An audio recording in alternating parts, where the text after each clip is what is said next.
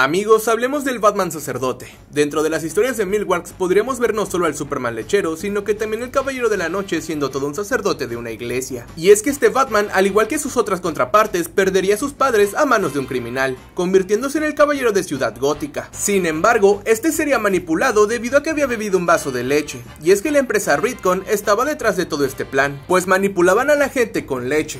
Lo sé amigos, suena algo raro. En el video anterior les conté que esta empresa había sido la encargada de darle los poderes a Milkman, pero al ser una empresa de cierta forma criminal, buscaba manipular a la mayor cantidad de gente posible, y entre toda esa gente se encontraría Bruce Wayne, quien tristemente recordaba la muerte de sus padres. Justo en esos momentos, Bruce tomaría un vaso lleno de leche, el cual calmaría todas sus angustias. Posterior a eso, la vida de Bruce cambiaría por completo, pues ya no saldría a las calles a patrullar como lo hacía antes, pues su vida ahora se encontraba en la iglesia, siendo llamado ahora el padre Bruce o el batipadre. Pero no se dejen engañar, pues el batipadre al ser manipulado tenía una tarea en específico, reclutar a la mayor cantidad de niños posibles para crear un ejército de soldados perfectos. Ahora que lo pienso, suena muy mal todo esto, incluso como algunas historias de la vida real. Ya saben, iglesias y niños. Pero bueno, al final todo regresa a la normalidad, pues logran destruir el control mental que tenía Batman. Y al ver todo lo que estaba sucediendo, el murciélago decide alejarse de la iglesia, para una vez más retomar su camino como justiciero.